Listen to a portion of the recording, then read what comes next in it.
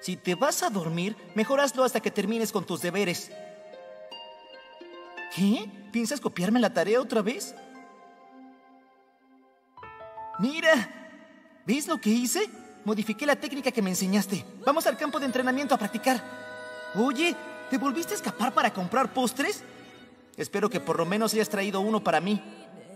Vamos, levántate ya, Kirito. Kirito.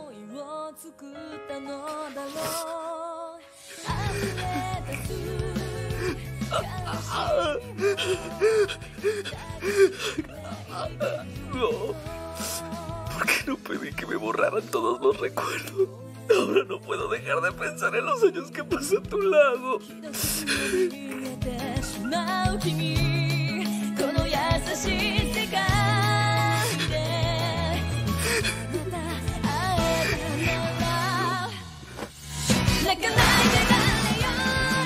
Oye, puedes hablar conmigo, hermano. Cuéntame lo que viviste, todo lo bueno y lo malo de ese mundo.